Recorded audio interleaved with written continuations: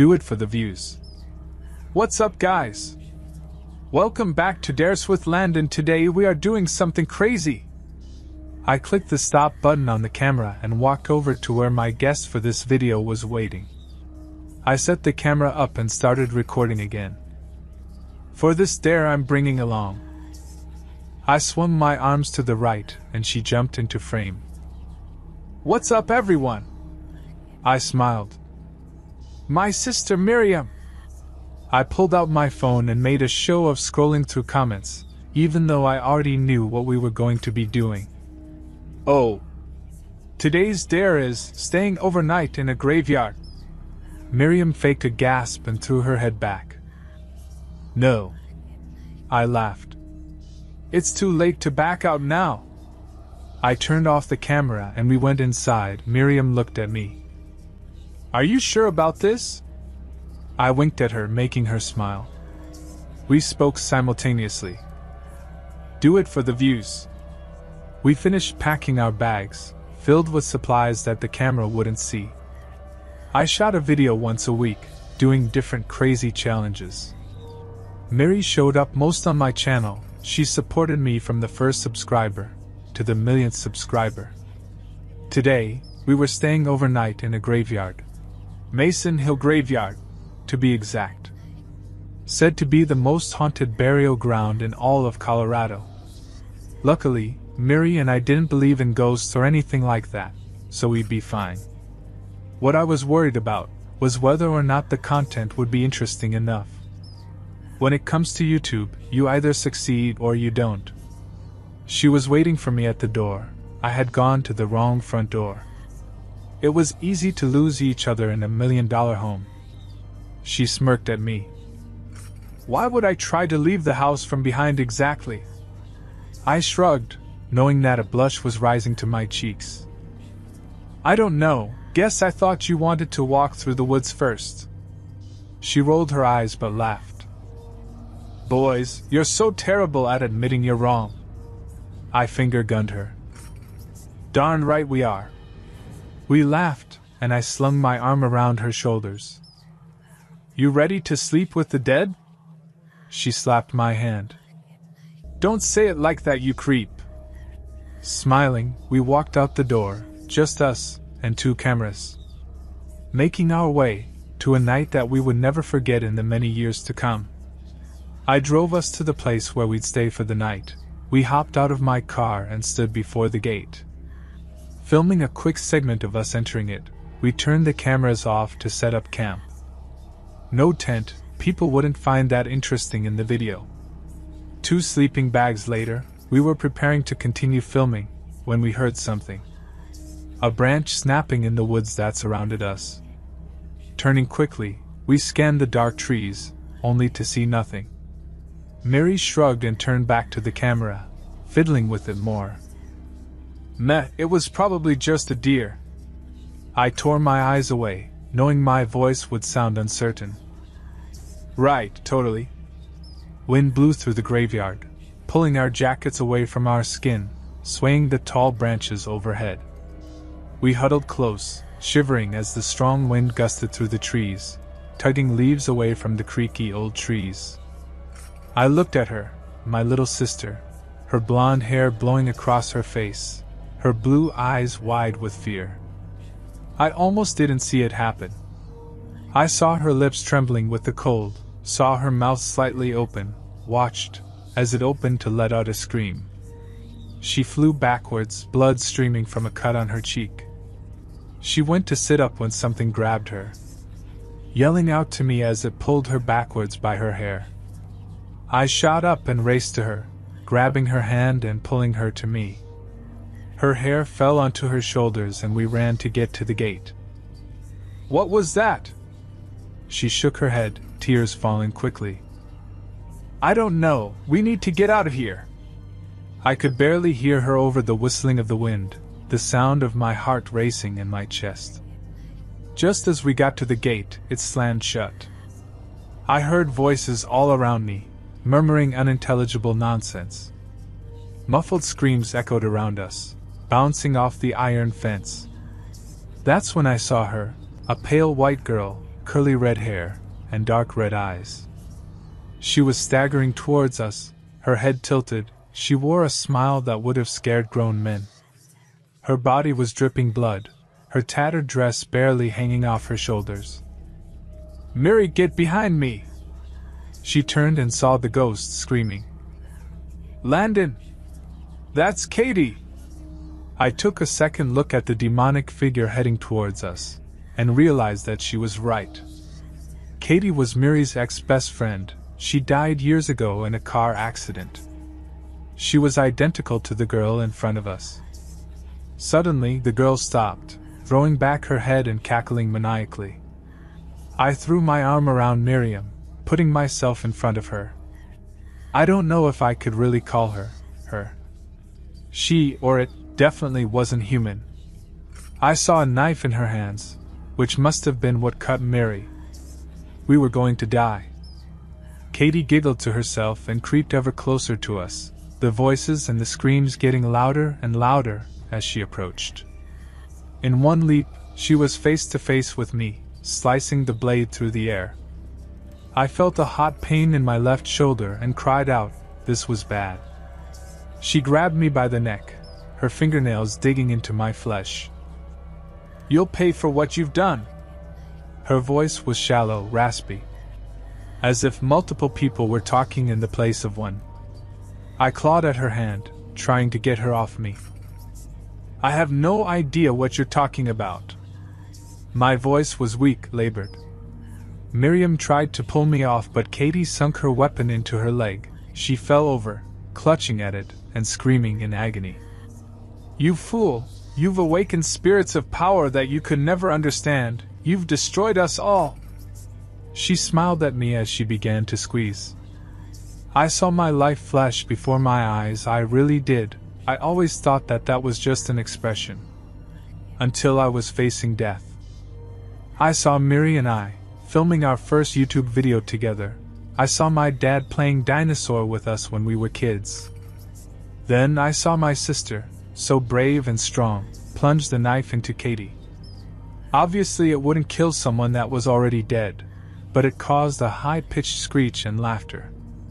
Giving me enough time to wrench myself away from this.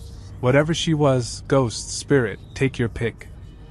We bolted to the gate and pulled it open, running out and into the car. I don't think I've ever driven so fast. Miriam curled up in the seat and cried. I rubbed her shoulder, trying to comfort her when I myself was crying too. We got home and dressed our wounds, some of them were deep. I refused to leave her side the rest of the night. How could I? 15 years later. What's up everyone? Welcome back to another video. I shut off the camera as my mom walked in. Alex, aren't you supposed to be doing homework? I looked at my feet. I was a freshman this year. Homework was way harder than last year. But mom dash. She held up her hand. Young man, I do not want to hear any arguing, you understand me? I agreed to YouTube if you get your work done first. I dropped my head. Yes, ma'am, I'm sorry, I just got a really good idea for a video. She looked at me, her eyebrow raised. Really, what's that? I smiled. Staying overnight in that old graveyard by the soccer field. She straightened up, her eyes hardening. No, absolutely not. On no account are you to ever set a foot in that cemetery. You hear me? Never. I was confused. She usually let me do crazy things for videos. Well, I dash. Miri! I have five bags of groceries and I require assistance. Uncle Landon, Mom turned and helped him. He came in and greeted me the way he always did. By messing up my hair. She turned to him. I was just explaining that he isn't allowed to go the graveyard. His eyes widened and he looked at me. You listen to your mother, alright? Don't go in there. Whatever the situation is, do not. They looked at each other, the sun illuminating the scar on Mom's face. I saw deep and seated pain in her eyes, nothing but sadness in her expression. I had a feeling there was something that she wasn't telling me. After a second, she sighed and looked at me. Just remember, kiddo, your life is more important than YouTube. If it is dangerous, don't do it for the views. The end.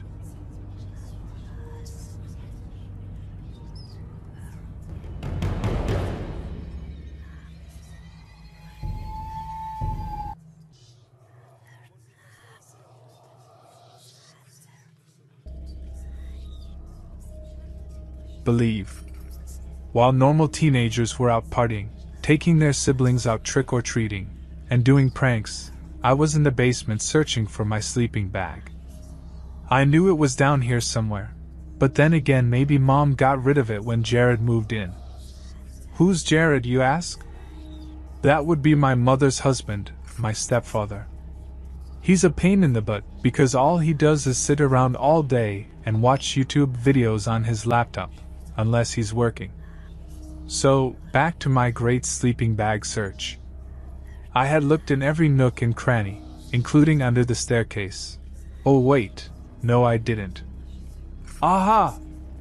I found it! I shout. Jared replies with a grunt. Found what? My sleeping bag. I yell back, carrying it back upstairs. Right when I did, I heard the phone ring. I dashed to answer it, hoping my best friend, Grace, would be on the other end. Hello? I ask eagerly. Hey, babe, greets my boyfriend, Logan. Oh, it's you. I mumble, but he still hears me. Geesh, he says, laughing. I was just calling to see if you're ready to go. Oh. Yeah, I'm ready. I'll meet you out front, I say, and then hang up the phone. Where are you going? Jared asks sternly. To Logan's house, I say. He groans. I'll be back sometime tomorrow, I add. You're spending the night with him? He growls. What does your mother think of this? Honestly, she doesn't care. You do know Logan and I have been dating for over a year. Whatever, he says with a smirk. Just watch out. Tonight's a full moon. Almost on cue, my little brother, Jake, jumps into the room and holds up my baby sister to show off her moon. I'm leaving, I announce and walk straight out the front door. Logan's waiting in his truck out front, and as soon as he sees me, he jumps out to open the door for me. Hi, he says, kissing me on the cheek. Hi, I reply shyly. All right, in the car, he says. I've got big plans for tonight. When he starts the truck, I ask what the big plans are. We're having our own sleepover, he says. In the graveyard. Wait a minute, in the graveyard? I ask. He nods with approval. On Halloween night? Yep. On a full moon? I wince. Yes, ma'am. Have you ever once had a sleepover in a graveyard, Logan? I ask, hoping he says yes. Nope, this will be my first night in the cemetery. I moan as he drives down the street to his house. He's killing me right now. It's just the two of us. I smile coyly. Yeah, I told you that, didn't I? I dunno, I respond, still smirking with an evil gleam in my eyes. He turns to look at me as he turns off the ignition. He raises an eyebrow.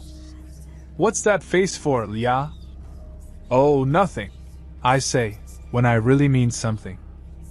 You two be smart tonight, says Logan's mom, Mrs. Hanson. Okay, mom, Logan says obediently. We will, no problem. I smile kindly at her. I mean it. She reminds us once more as her and Mr. Hanson walked out the door in costume. Where are they going? I ask once they're out of earshot. Some lame costume party downtown, he says, frowning at me. Why couldn't we have been normal and gone there too? I wonder out loud. Logan laughs. Chill, Leah. It'll be fun. I promise. Oh, yeah? I say sarcastically. Because getting eaten alive by zombies and cursed by witches is fun. Yeah, Logan suddenly says. It is. I had a friend whose ex and her best friend witnessed a ghost last Halloween at the same graveyard. It was just sitting by this grave of someone, and then an earthquake hit. I laugh, but stop abruptly when I see he's serious. Some teenager was found dead, murdered by the same gravestone after the earthquake hit. That's so stupid, Logan.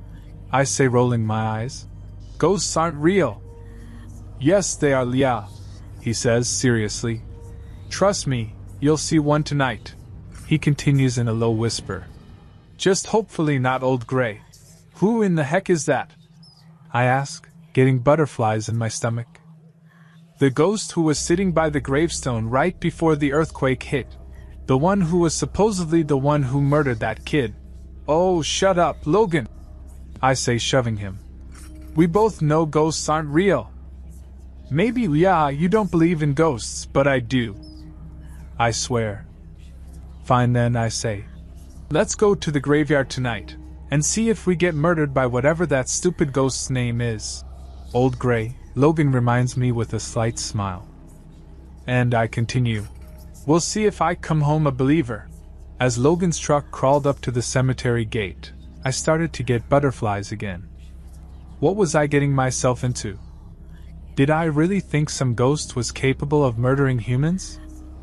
There were few people in the cemetery when Logan and I started walking. Sleeping bags hung over our shoulders. Most of the people were sitting by certain graves, crying and praying, while others were standing around with their arms raised up to the sky chanting words I couldn't understand. Logan said those people were devil worshippers. They believe strongly in magic and those who come back from the dead. We passed several younger teenagers with rolls of toilet paper in their hands, laughing and smiling, having a good old time. And yet, here I was holding hands with Logan as we approached our spot, an empty grassy opening a good distance away from the gravestones and crosses. This is it, Logan said, dropping his bag and sprawling out on the grass. I cautiously did the same. This was it. I must have fallen asleep, because the next thing I knew, Logan was shaking me. I rolled over, rubbing my tired eyes, and then realized it wasn't my boyfriend. Ah! I screech. I sit up fast, and find myself face to face with a white, glowy figure.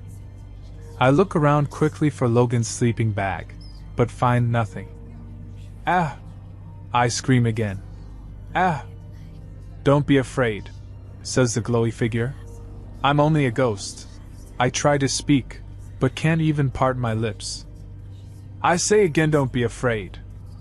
It is All Hallows Eve, and I am only here to protect you from the ghost of Bernie Gray.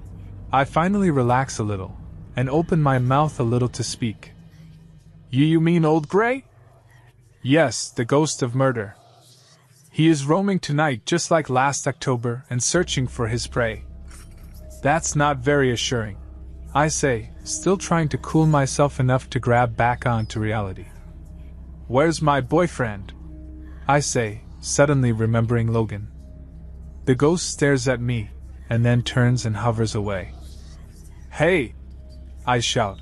Come back! I gather myself up in a moment and take off after it, not trusting that this is all real. When I finally catch up with the ghost, I make out a tall, broad figure. Another ghost? Please, no. As the shadowed figure steps into the dawning light, I make out its relaxed face, caked with dirt. Logan!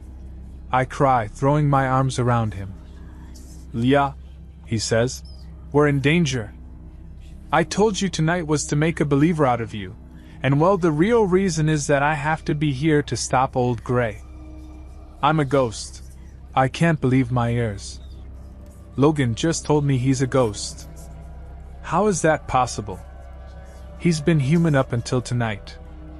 Did he die? Logan, I say quietly, are you dead? Yes, he says, looking pale. My stomach turns and I bend over to vomit. My boyfriend is dead? How did this happen? How did you die, Logan? I gasp out. He looks at me seriously and speaks. I was the kid who Old Gray murdered last Halloween. I had one year to defeat him, otherwise, I'd turn into a ghost forever, not just on Halloween. Hold up, Logan. I say. You were murdered last Halloween, but returned to human form? Until now. When the sun rises, I will die ultimately and be a ghost forever. I shake my head. Why didn't you tell me? We tell each other everything. I was afraid you wouldn't come if I told you, and I can't bear dying without my girlfriend here with me. You are not going to die tonight, you hear me? I say. We are going to defeat that ghost and release you from his undertaking. And how are we going to do that, Yeah. Fight. The ghost, Myra Adams, who had helped me find Logan, said the only way to release him from Old Gray's grip was to get the necklace around his neck. That necklace held Old Gray's victims in it, and without it he wouldn't be able to kill anyone else, and all those he had killed would be set free. Our plan was to distract him with Logan and Myra, while I swoop in from behind and grab the necklace, smashing it to the ground. Once it was broken, Logan and all the others would be released. We found Old Gray sitting on the tombstone of someone named Dave Franklin. That must be his next victim, I thought. As I hide behind a large grave, Logan and Myra go running up to Old Gray. Why, hello there, old friends, Old Gray says sneerly.